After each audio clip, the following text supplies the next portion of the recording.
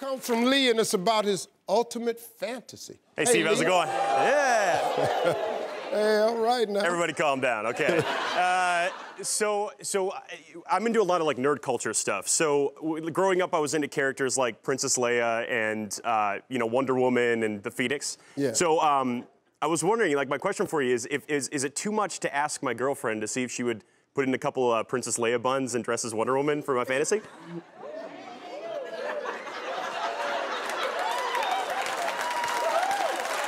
So, let me ask something, Lee. So, this has gone from a little boy thing to this. This some grown man requests now. I'm a man now, yeah. so you want your woman to be Princess Leia or the Wonder Woman or something like that? wouldn't hurt, wouldn't hurt. I know it wouldn't hurt, but now let me let me slow you a little bit. Sure. So you gotta be careful taking your fantasies to your woman.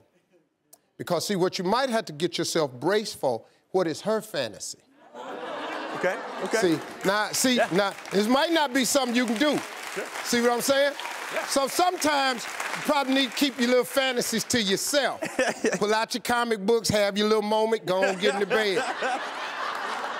but see, if you see, because you start messing with a woman, she start asking you for hers. You know, can you be Superman? Do you have an S on your chest? Can you leap tall buildings in a single bound? You understand? Are you Thor? Do you have a big hammer?